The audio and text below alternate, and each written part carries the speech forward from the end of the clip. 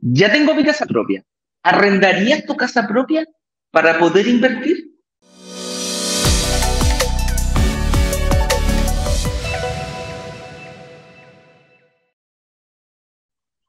Si la historia que contaste el otro día de la inversionista esta que ya tenía, que tenía, se había comprado su casa, habían pasado como 10, 15 años. Cuéntate esa historia nueva porque encontré que era bien, ejemplificadora de esto.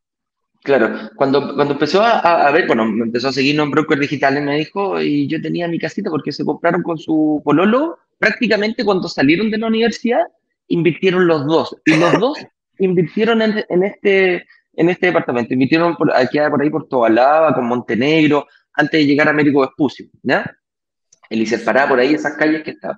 Y hace años atrás, mi mamá vivía cerca, era, era un sector de puras casas, Hoy día cambiaron el plano regulador y empezaron a hacer edificios. No de mucha altura, de 6, 7 pisos, más o menos parece esa es como la altura, la, la rasante que dejaron, pero ella invirtió en uno de los primeros. Me dijo, y me di cuenta que, eh, rico, un departamento nuevo en ese momento, pero ya él tiene 15 años, me dijo, y yo lo compré en 2.300, 2.400 UF, 2.500 UF más o menos era, dos dormitorios, tres dormitorios, me dijo, y ahí estábamos. Entonces, ahora como que nos empezó a quedar chico y empezamos a darnos cuenta que, em, que, el, departamento no tiene las mismas em, eh, beneficios o, detalles. Prestaciones. No tiene las mismas prestaciones que tienen los, los, edificios buenos. Entonces empezaron a mirar al lado y se dieron cuenta que en este periodo, como creció tanto, cambió el plano regulador, tenían em, aproximadamente, lo, lo podían vender en 6.000 a 7.000 UF, 6.500 UF, por ahí andaba el valor. Entonces me dice, Eduardo, tengo 4.000 y tantas UF para, para, de patrimonio ahí metía, que yo no las tenía planificadas en, bajo ningún punto de vista. O sea, jamás pensé que mi apartamento de 2.500 iba a pasar a 6.500. Entonces, eh, yo le dije, buenísimo. ¿Y, ¿Y, qué es lo que quería hacer con eso? Me dijo, no sé, estoy en la duda. Yo le dije, arrendar es una opción, yo le dije, ¿por qué? Me dijo, ¿por qué? Porque ella estaba pagando un dividendo muy bajo.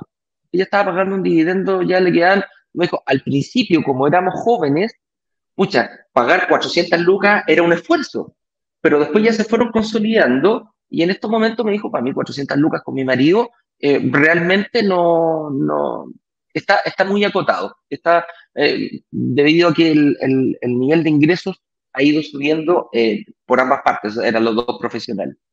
Entonces yo le dije, mira, ¿a cuánto estará? dijo, prácticamente más del doble.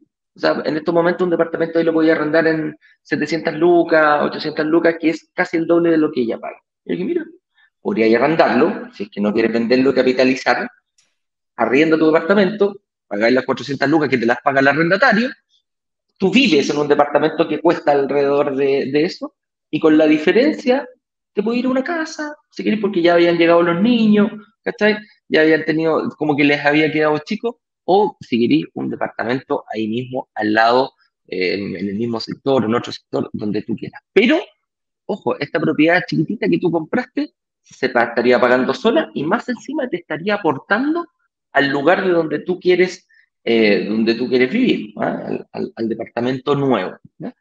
Y esa era una estrategia y la otra ya simplemente era vender, capitalizar y con ese patrimonio poder eh, invertir en uno o en dos departamentos y salir los dos juntos, porque ojo, estaban los dos juntos metidos en esta deuda. Que ese era también un pequeño detalle que, mm. que, que, les, que les pegó. En vez de hacer el ciclo corto, ellos se olvidaron de eso y claro, después ya no les pegaba tan fuerte, pero sí o sí, al vender ese departamento, se deshacían de esa deuda ambos y ambos quedan en mejores condiciones para poder invertir. Esa es como la historia de, de, la, de la chica que no